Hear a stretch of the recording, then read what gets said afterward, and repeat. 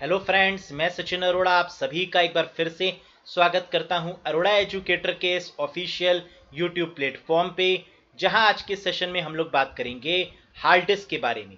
काफ़ी interesting topic है hard disk और एग्ज़ाम में काफ़ी सारे क्वेश्चन भी देखने को मिलते हैं। मुझे पूरी उम्मीद है कि अगर आप इस सेशन को बहुत अच्छे से देखेंगे तो एग्ज़ाम में पूछे जाने वाले सभी क्वेश्चन को आप एकदम सही तरीके से कर पाएँगे। बेस्ट 35 क्वेश्चंस के बारे में और कॉन्सेप्ट को लेकर भी हम इस सेशन में बात करेंगे। देखिए हार्ड डिस्क की अगर हम बात करें तो हार्ड डिस्क क्या है? हार्ड डिस्क एक तरीके की सेकेंडरी स्टोरेज डिवाइस है। यानी एक ऐसी डिवाइस जिसमें हम अपने कंप्यूटर के सभी डेटा को स्टोर करके रख सकते हैं। नो डाउट ये काफ़ी स्लो काम करती है, क्योंकि फास्टेस्ट मेमोरी के केस में हमारे पास और कई ऑप्शन और कई विकल्प अवेलेबल हैं। जैसे रैम है हमारे पास, जो टेम्परेरी है, लेकिन फास्टेस्ट है। रजिस्टर है हमारे पास, कैश मेमोरी है, जो कि काफ़ी फास्ट तरीके से काम करती है। जबकि हार्ड डिस्क का जो काम करने का तरीका है नो डाउट ये स्लो है। स्लो इसलिए भी है क्योंकि ये एक तरीके की परमानेंट डिवाइस है और यहाँ पर हम मैक्सिमम डेटा को स्टोर करके रख सकते हैं और टाइम आने पे हम इस डेटा को फैच करते हैं। तो चलिए आज के सेशन में जानते हैं कि ये हार्ड डिस्क पर बेस्ड कौन कौन से क्वेश्चन बन सकते हैं। लेकिन उससे पहले ये ज़रूर आप जान लीजिए कि मैग्नेटिक डिस्क की जब भी हम बात करते हैं तो there are two types of generally magnetic disk are classified यानी मैग्नेटिक डिस्क को दो तरीके से क्लासिफाई किया जा सकता है। नंबर वन तो हार्ड डिस्क है और नंबर टू है आपकी फ्लॉपी डिस्क। तो फ्लॉपी डिस्क का आजकल इस्तेमाल तो होता नहीं है, लेकिन हाँ फ्लॉपी डिस्क भी काफ़ी इंपॉर्टेंट चैप्टर बनता है। इसके बारे में भी हम लोग बात करेंगे आगे आने वाले सेशन में, लेकिन आज के सेशन में बात करते हैं हार्ड डिस्क से रिलेटेड तो चलिए शुरू करते हैं और देखते हैं किस किस तरीके के क्वेश्चन पूछे जा सकते हैं। हैव अ लुक गाइस ये रहा पहला क्वेश्चन हार्ड डिस्क से related who is known as the father of hard disk hard disk की फादर यानी फाउंडर का आपको नाम बताना है। ऑप्शन है mister John von Neumann, Alan Turing, Reynold B Johnson, Ada Lovelace या जेम्स रसल। बिल्कुल सही हार्ड डिस्क को बनाने वाली जो पर्सनैलिटी हैं, उनका नाम है रेनॉल्ड बी जॉनसन। तो याद रखिएगा, mister Johnson is known as the founder of hard disk. जबकि जॉन वॉन न्यूमैन, इनको माना जाता है कंप्यूटर आर्किटेक्चर का फाउंडर। तो अगर कभी भी एग्ज़ाम में कंप्यूटर आर्किटेक्चर के फाउंडर की बात हो तो आंसर हो जाएगा John von Neumann Alan Turing इनको कंप्यूटर साइंस का फाउंडर कहा जाता है। एडा लवलिस ये पहली प्रोग्रामर हैं। She is known as the first world programmer दुनिया की सबसे पहली प्रोग्रामर और जेम्स रसल इन्होंने सीडी और डीवीडी यानी ऑप्टिकल डिस्क को बनाया। तो अगर सीडी या डीवीडी के फाउंडर पूछते हैं तो आंसर होगा जेम्स रसल। तो इस तरीके से हम लोगों ने सारे ऑप्शंस में देख लिया कि किस किस ऑप्शन का क्या क्या सही जवाब हो सकता है। अगला question. When was the hard disk drive invented hard disk बोलें या हार्ड डिस्क ड्राइव बोलें, बात एक ही है। तो हार्ड डिस्क ड्राइव यानी हार्ड डिस्क को कब इन्वेंट किया गया, कब बनाया गया? तो दुनिया की सबसे पहली हार्ड डिस्क बनाई गई 1956 में। तो आंसर होगा 1956 next which company made the first commercial hard disk drive तो आपको ये तो पता चल गया कि 1956 में पहली हार्ड डिस्क ड्राइव मतलब पहली हार्ड डिस्क बनी। अब ये किस कंपनी के द्वारा बनाई गई, ये भी आपको पता होना चाहिए। तो आईटी सेक्टर की सबसे पुरानी कंपनी बिल्कुल सही दैट इज़ आईबीएम यानी इंटरनेशनल बिज़नेस मशीन के द्वारा पहली हार्ड डिस्क ड्राइव बनाई गई। तो आंसर हो जाएगा IBM next first hard disk drive was installed in which computer पहली हार्ड डिस्क 1956 में बनाई गई और जिस कंपनी ने बनाई वो थी आईबीएम अब ये किस कंप्यूटर में लगाई गई बनाने के बाद में? तो उसका नाम क्या है? तो दुनिया की जो पहली हार्ड डिस्क थी वो जिस पहले कंप्यूटर पर लगाई गई, उसका नाम था RAMAC 305 answer is RAMAC 305 very good अगला question hard disk is also called as hard disk को और किस किस नाम से जाना जा सकता है? Hard disk drive hard drive fixed disk all of these ये नन ऑफ़ दीज तो बिल्कुल इसका आंसर होगा ऑल ऑफ़ दीज क्योंकि हार्ड डिस्क को एचडीडी मतलब hard disk drive hard drive या फिक्स्ड डिस्क इन सभी नाम से हम इसको जान सकते हैं। Next question which one of the following is an example of secondary memory देखिए कंप्यूटर में आपने पढ़ा होगा, आपको पता होगा कि प्राइमरी मेमोरी और सेकेंडरी मेमोरी दो तरीके की मेनली मेमोरी होती हैं। प्राइमरी मेमोरी के केस में हम रैम रोम और कैशे इनको रखते हैं, जबकि सेकेंडरी मेमोरी के केस में जितनी भी स्टोरेज डिवाइसेस हैं, उनको हम प्लेस करते हैं। तो यहाँ पर आप देख सकते हैं हार्ड डिस्क ड्राइव आपकी स्टोरेज डिवाइस के तरीके से काम करती है। तो यही हो गई आपकी सेकेंडरी मेमोरी जबकि ऑपरेटिंग सिस्टम ये एक सिस्टम सॉफ्टवेयर का एग्ज़ाम्पल है। प्रिंटर ये एक हार्डवेयर है और आउटपुट डिवाइस है। स्कैनर ये भी एक हार्डवेयर है, लेकिन स्कैनर आपका इनपुट डिवाइस में काउंट होता है। जबकि रोम प्राइमरी मेमोरी का एग्ज़ाम्पल है। Next. What does hard disk drive stand for यानी HDD की फुल फॉर्म क्या है? तो बिल्कुल आपने अभी देखा भी सेशन में अभी तक के क्वेश्चंस में कि HDD की फुल फॉर्म बनेगी। हार्ड डिस्क ड्राइव यानी सेकंड बिल्कुल सही जवाब है। अगला question which of the following is the largest manufacturer of hard disk drive काफ़ी बार पूछा गया क्वेश्चन कि सबसे बड़ी कंपनी कौन सी है जो हार्ड डिस्क बनाती है? सी गेट नाम सुना होगा सी गेट की हार्ड डिस्क आती हैं। आईबीएम माइक्रोसॉफ्ट 3एम या एसर देखिए, वैसे दो बड़ी कंपनीज़ हैं जो हार्ड डिस्क में बहुत फ़ेमस हैं। पहली है डब्ल्यूडी जिसे वेस्टर्न डिजिटल के नाम से जाना जाता है, और दूसरी है सी गेट लेकिन पहले नंबर पर WD आती है, इसका मार्केट शेयर बहुत बड़ा है और सबसे फ़ेमस है। लेकिन WD तो यहाँ दिख नहीं रहा। तो अब दूसरे नंबर पर हमने आपको क्या बताया? सी गेट सी गेट है क्या? बिल्कुल है। तो ये हो जाएगा आपका सही जवाब that is Seagate right hard disk drives are considered as hard disk drive कैसी स्टोरेज डिवाइसेस हैं? ये फ्लैश स्टोरेज है वोलाटाइल है नॉन वोलाटाइल है, या ऑल ऑफ़ दीज हैं या नन ऑफ़ दीज हैं। तो देखिए हार्ड डिस्क ड्राइव क्योंकि ये सेकेंडरी स्टोरेज है, और इसकी साथ साथ ये परमानेंट स्टोरेज भी है।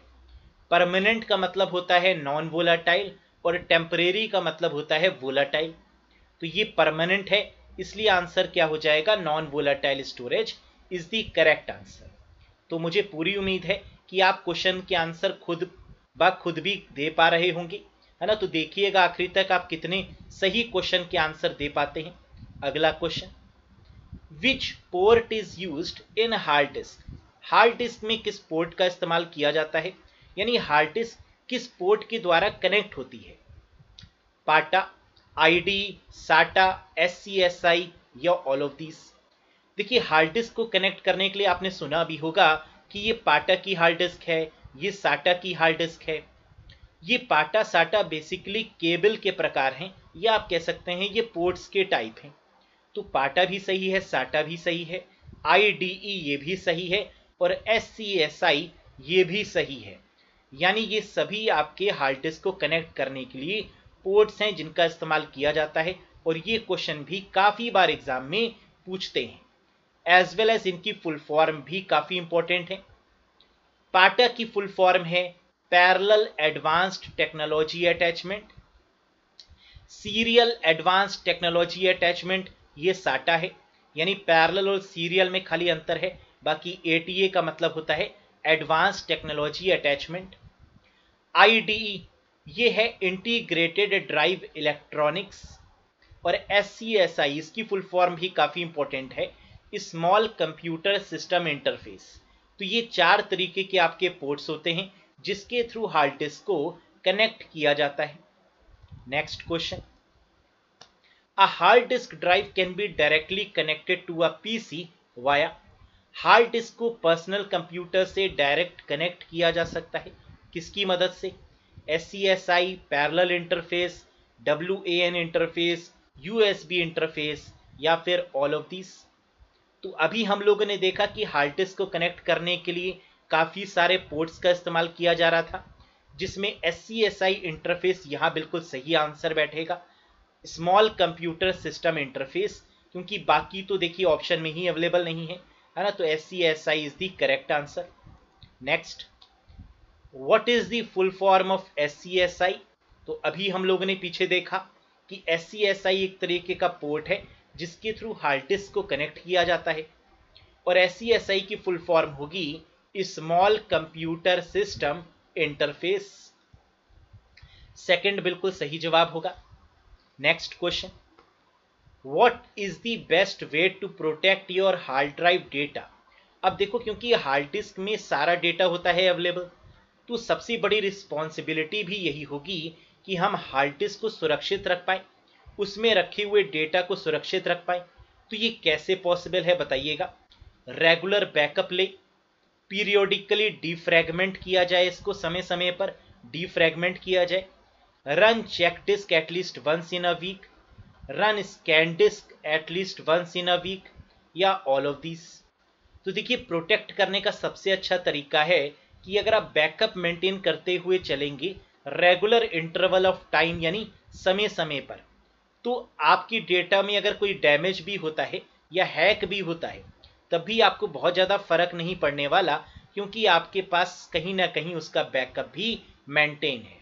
तो आंसर क्या होगा? That is regular backup next question process by which you fit more data into hard disk is called यानी वो प्रोसेस जिसके तहत आप ज़्यादा से ज़्यादा डेटा को हार्ड डिस्क में रख सकते हैं। इस टेक्निक या इस प्रोसेस को क्या बोला जाता है? एक्सट्रैक्शन डीफ्रैगमेंटेशन कंप्रेशन स्कैनिंग या फॉर्मेटिंग तो हार्ड डिस्क में ज़्यादा से ज़्यादा डेटा को रखना तभी पॉसिबल है जब आप डेटा को कलेक्ट करें और उसको कंप्रेस करें। तो बिल्कुल आंसर यहाँ पर होगा कंप्रेशन क्योंकि बहुत सारे सॉफ्टवेयर आते हैं जिसके थ्रू आप डेटा को कंप्रेस कर सकते हैं। है ना? जैसे विनजिप विनरेयर इनके थ्रू आप किसी भी डेटा को क्या कर सकते हैं? कंप्रेस कर सकते हैं।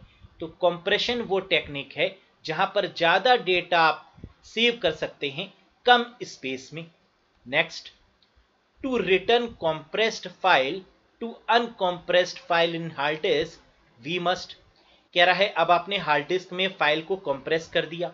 अब उसे अनकॉम्प्रेस आपको करना है। तो इसके लिए क्या किया जाएगा?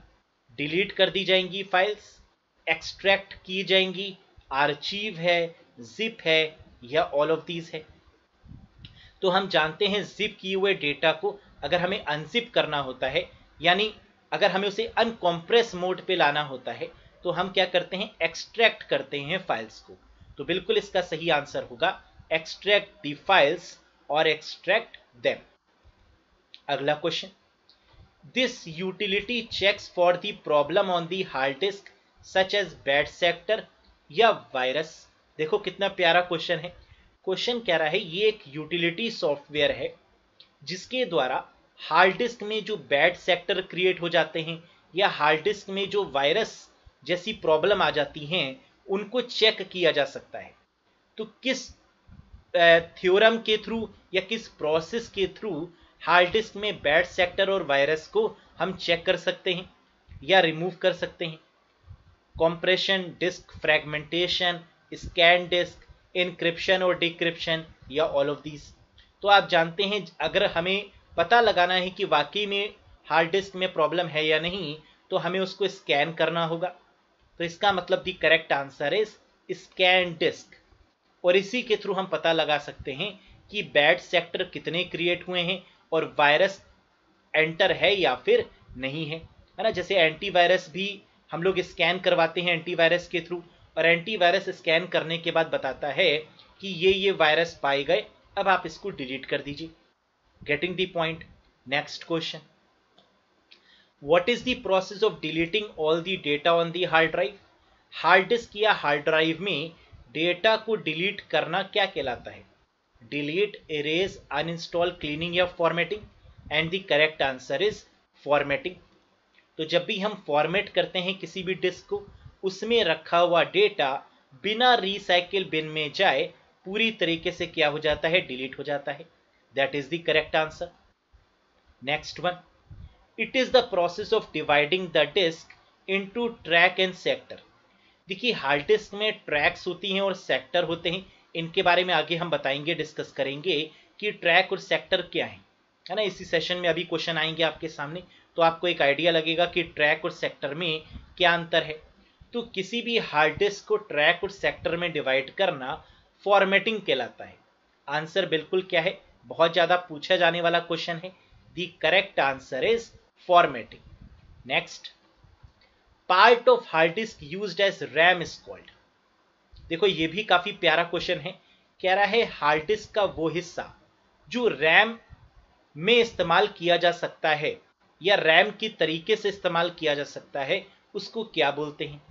तो ये कॉन्सेप्ट होता है वर्चुअल मेमोरी का, जहाँ पर हार्ड डिस्क में से स्पेस लेकर रैम में इस्तेमाल की जाती है और रैम के साइज़ को बढ़ा दिया जाता है और इस कॉन्सेप्ट को बोलते हैं वर्चुअल मेमोरी तो इसमें रैम की साइज़ को बढ़ाया जाता है, इसका मतलब this is called extended RAM तो आंसर हो जाएगा fourth that is extended RAM very good अगला question guys data is accessed in hard disk in which manner hard disk में डेटा किस तरीके से एक्सेस किया जाता है?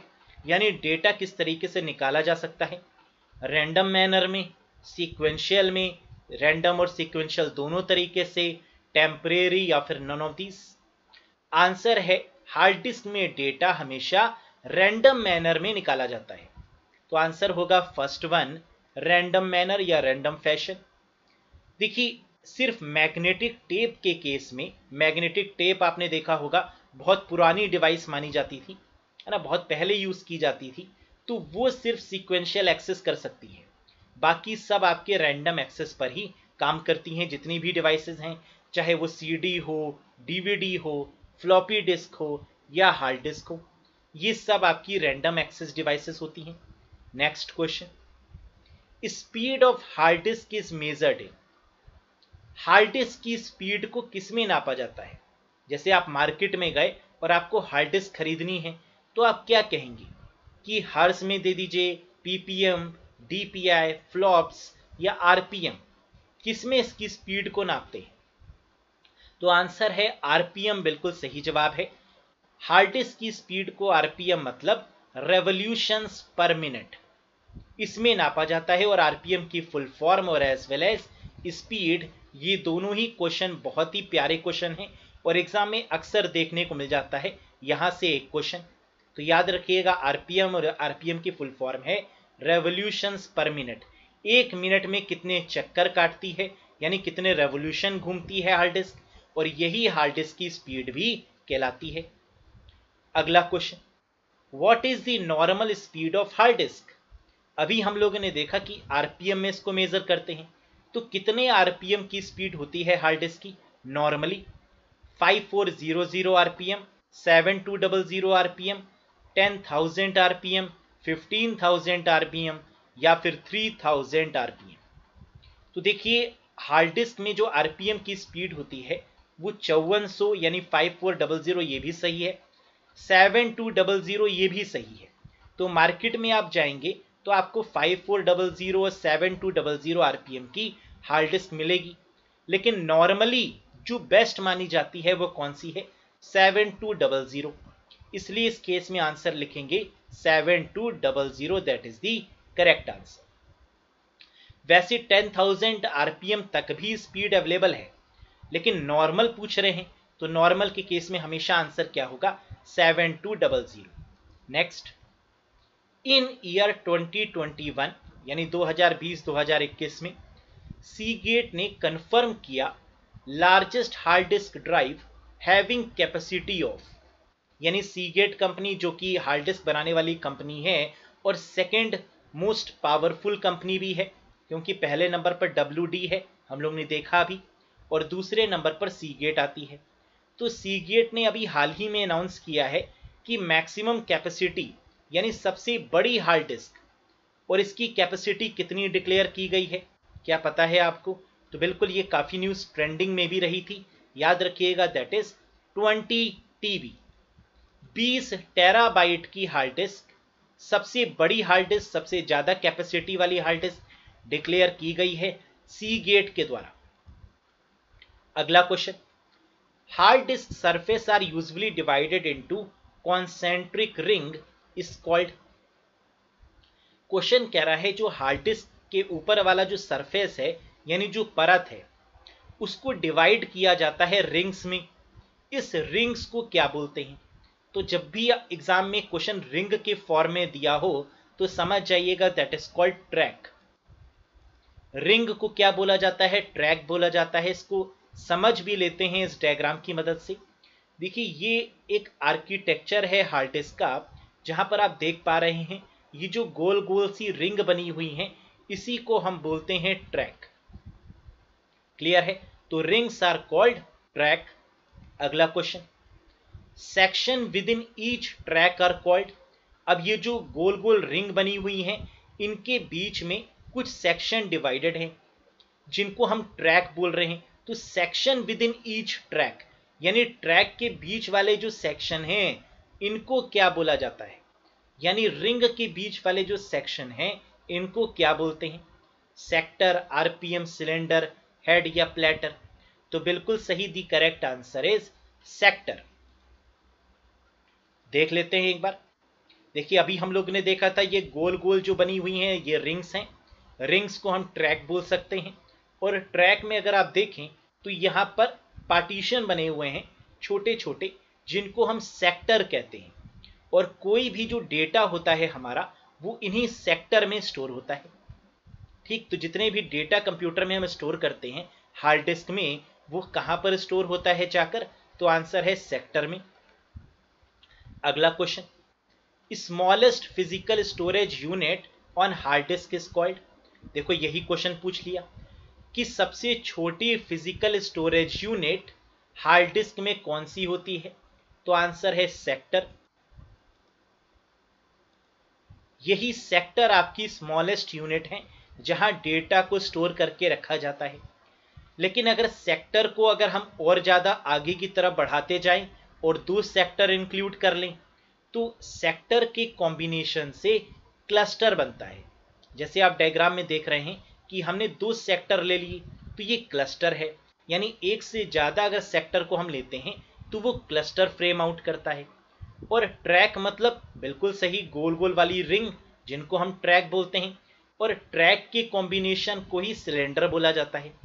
देखिए, नीचे अलग अलग प्लेटर्स में अगर हम ट्रैक को कंबाइन करें तो इसको हम क्या कह देते हैं? This is called as cylinder तो याद रखिएगा कि अगर एग्ज़ाम में कलेक्शन ऑफ़ सेक्टर कहें तो क्लस्टर होगा।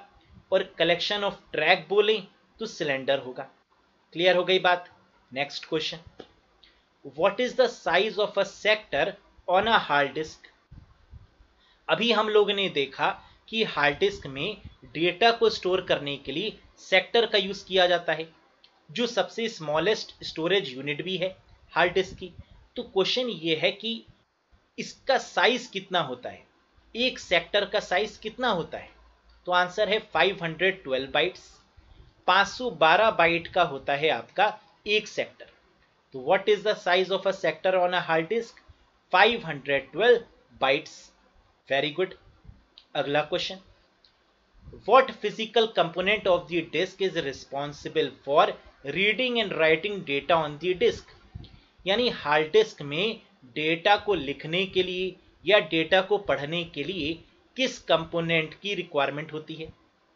प्लेटर सेक्टर क्लस्टर या रीड राइट हेड या फिर ऑल ऑफ़ दिस तो देखिए हार्ड डिस्क के ऊपर जो डेटा रीड राइट होता है, वो आर डब्ल्यू हेड की मदद से होता है, जिसको रीड राइट हेड बोला जाता है। तो आंसर क्या होगा? R W head read write head image में देख भी सकते हैं प्लेटर है, और प्लेटर के ऊपर आप देखिए, एक तीर कमान जैसा आपको दिख रहा है। है ना? This is called as read write head जो प्लेटर के ऊपर मूव करता है। और फिर यानी एक सरफेस के ऊपर मूव करता है और इसी के थ्रू डेटा को रीड राइट किया जाता है। क्लियर है? अगला question time required by the read write head to move from one track to another in hard disk is called यानी समय बताना है। उस समय को क्या कहते हैं? जब आर डब्ल्यू हेड यानी रीड राइट हेड मूव करता है ट्रैक के ऊपर और रीड राइट करने की कोशिश करता है डेटा को तो उसमें जो लगा समय है, उसको क्या बोला जाता है? तो आंसर है, जब भी क्वेश्चन में रीड राइट हेड दिया गया हो तो याद रखिएगा आंसर क्या होगा? सीक टाइम होगा। फिर से मैं रिपीट कर रहा हूँ, कभी भी क्वेश्चन में रीड राइट हेड दिया हो तो आंसर हमेशा क्या होगा? सीक टाइम होगा। अगला क्वेश्चन देख लेते हैं।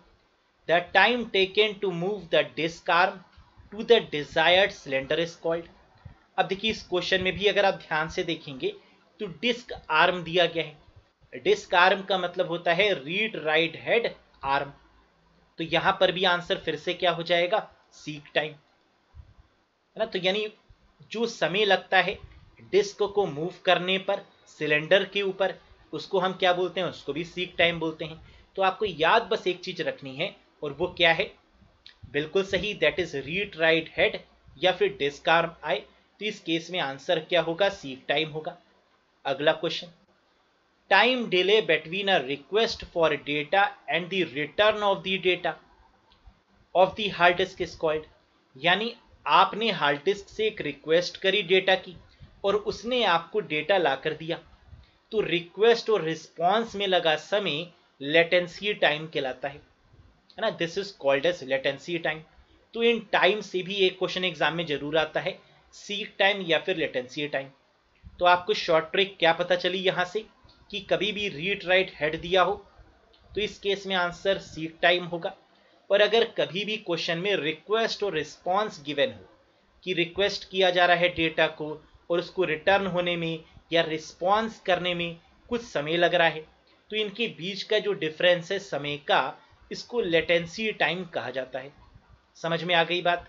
Very good in W D hard disk company W D stand for जैसे कि अभी स्टार्टिंग में हम लोगों ने बात की थी कि हार्ड डिस्क बनाने वाली कंपनी दो ही फ़ेमस हैं।